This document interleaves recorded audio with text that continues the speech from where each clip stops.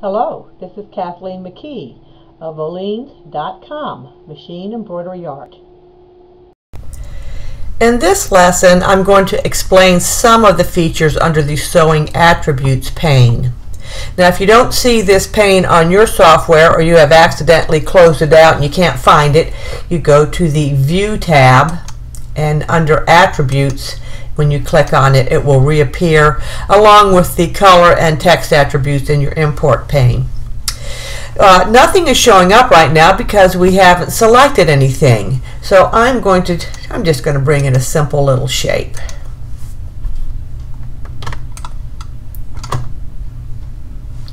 And um,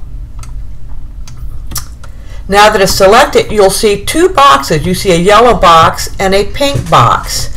Uh, the yellow box has everything to do with the line. It's the line sew. It has, uh, depending on the type of line you have around it, if you had a running stitch, you'll see the options will change, or if you have a, a motif stitch, or uh, whatever you select, the options will change. But let's stick with that zigzag. And then you have the pink region sew, which has everything to do with the fill or the region.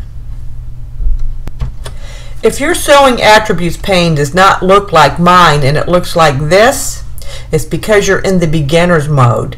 So go ahead and click on to expert mode so that you have all of your options in the sewing attributes pane. I don't know why they have a beginner and expert. I think especially if you're a beginner, you want to be aware of all of your different options so you can start learning and uh, playing around with all these different options. We're going to start with the yellow line sew uh, box and this is um, in a zigzag uh, outline.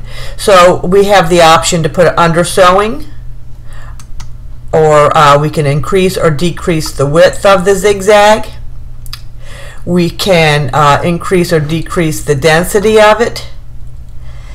And if it were a real, real wide zigzag, uh, and it's not going to, well, that's too much. But anyway, if you had the half stitch, it would pull out. You see how it pulled out some stitches in the areas where the where the uh, curve gets real tight so that all those stitches aren't bunching up there.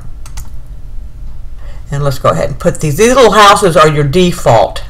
So we'll go back to the defaults. Uh, the sharp corners. It's on sharp corners now, but if you wanted them rounded, you could have them rounded. I'm going to take off this uh, oh, let's show what it looks like in a running stitch, what op options you have.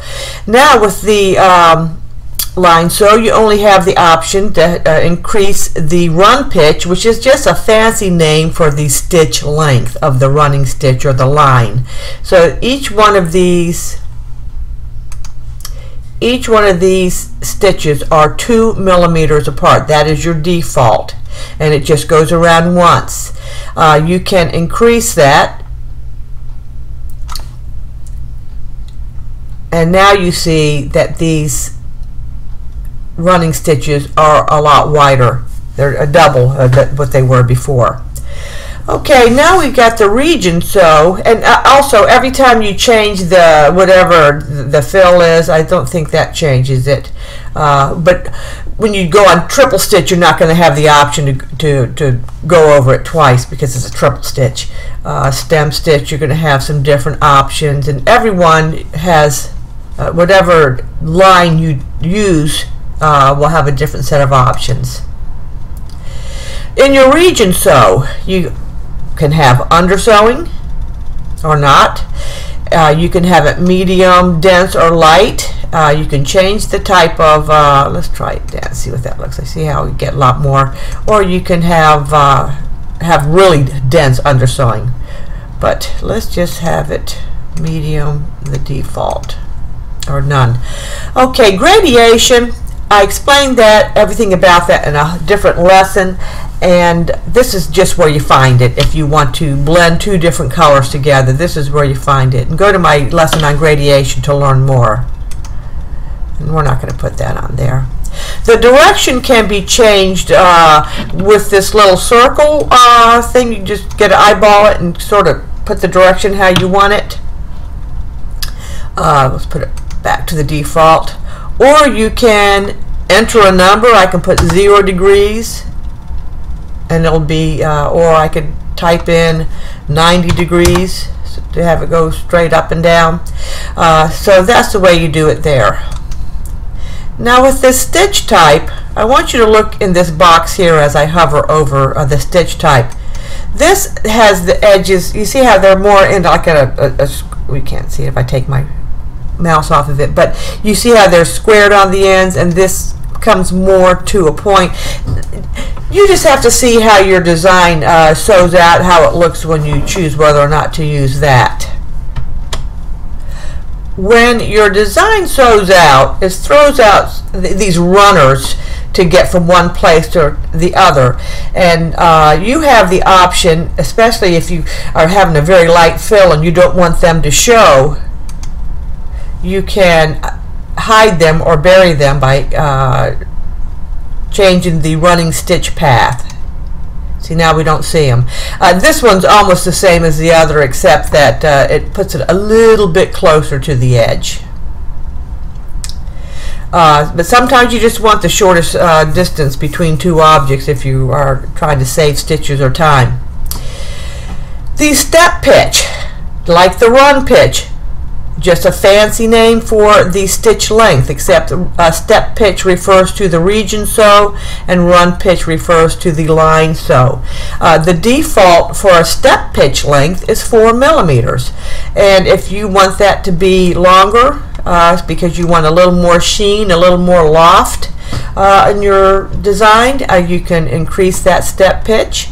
Uh, frequency is just how the stitches line up so let's put it at, I'll just type in 50%.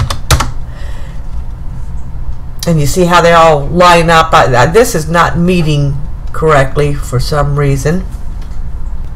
I'm not sure why that is, but uh, probably has something to do with the shape of the object and where it starts and stops. Uh, and the pull compensation, as uh, I, have told you, uh, you need to add on just about anything with a fill or a satin stitch a region because we know that when you sew this out it's going to pull in and it's going to pooch out here. So let's give it a little bit of pull compensation, about 0.3 millimeters and you notice how uh, the areas where it pulls in, uh, it goes out a little bit beyond the uh, line sew uh, outline, and it kind of comes in a little bit so uh, that when you sew out, it may look like it's not going to meet perfectly, but it will because it's, it's compensating for where it's going to pooch out and where it's going to pull in. The next thing, let's put all this on default again.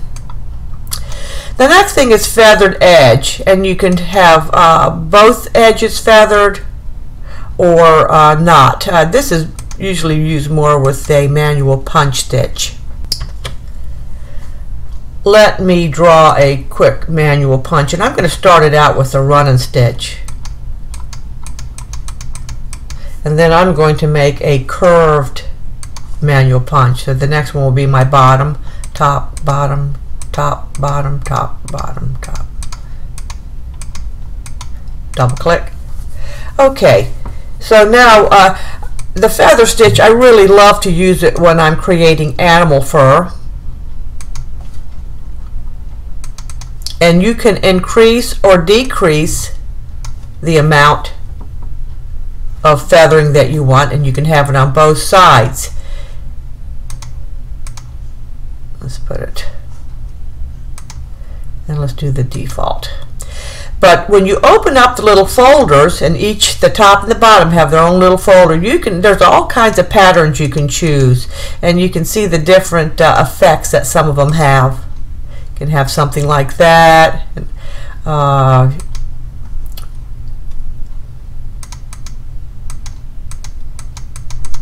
oh, this one looks cool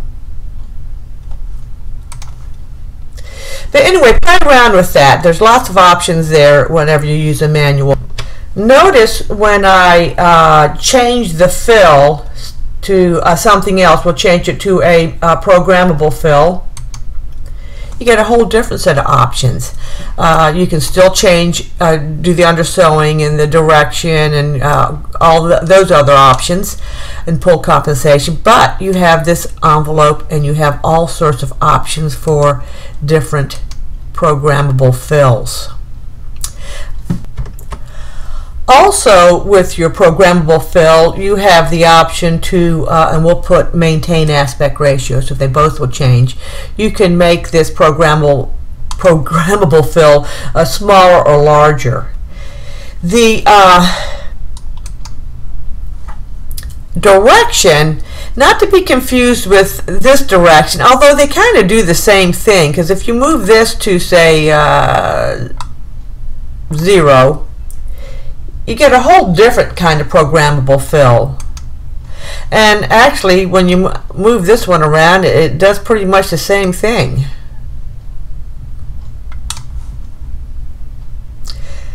Well, just play around. It does different things, but I did get it to, yeah, did the same thing as the other one. So play around with that to see it to uh, alter your your programmable fill. And then there's the offset.